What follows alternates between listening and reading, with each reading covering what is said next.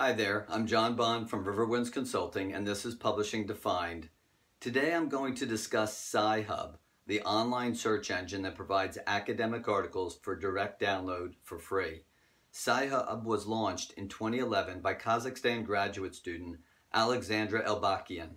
Since then, Sci-Hub has been at the center of controversy and legal battles. Sci-Hub offers over 58 million articles free to users by bypassing publishers' paywalls illegally. New articles are downloaded daily, perhaps by access through educational institutional proxies. Sci-Hub has been the subject of numerous lawsuits, most notably by Elsevier. Starting in 2015, a complaint was filed against the original domain. Following the loss of that domain, Sci-Hub has used several other domains, some of which have been blocked in certain countries.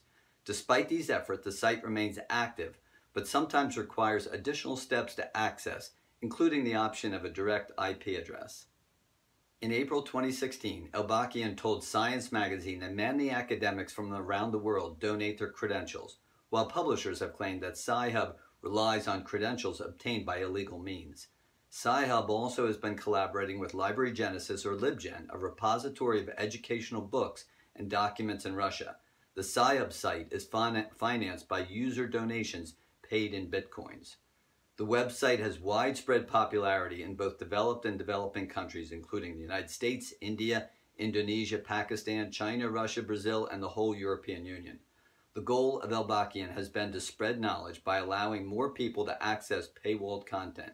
Elbakyan has cited the UN Declaration of Human Rights, quote, to share in scientific advancement and its benefits, unquote, as her rationale. She claims the content is hindered by publishers demanding excessive payment for content which is written and donated by researchers. Sci-Hub has been compared to, among other things, Napster and Edward Snowden. There are some great discussions about Sci-Hub. See the Scholarly Kitchen at sspnet.org for several great articles from the publisher's point of view. Also see Science Magazine for another valuable article, quote, Who's downloading pirated papers? Everyone, unquote, which is worth a read. And most importantly, read the comments at the end of all these articles to get a flavor of the passion out there on the researchers and readers side.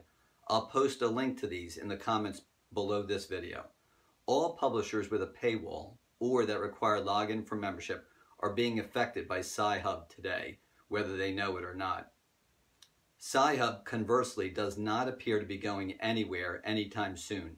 This situation will continue to be followed closely as, the, as this push and pull over fair access to academic knowledge and the right to monetize a product are debated. Well, that's it. Hit the like button below if you enjoyed this video.